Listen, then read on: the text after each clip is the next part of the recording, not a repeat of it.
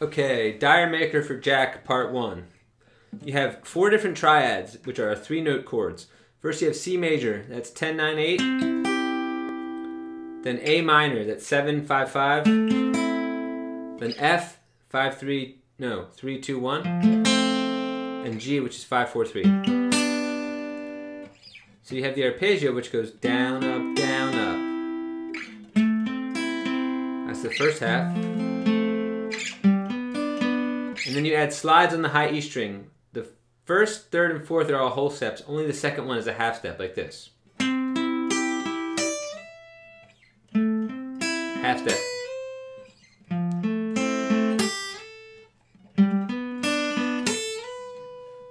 So you put it together, it's like this.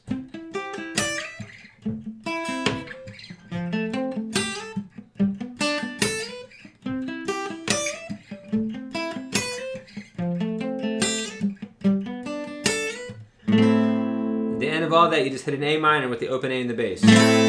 Don't go. And then you just repeat it. Ah, ah, ah, ah, ah, ah. Me to my soul. We'll do the second half next week.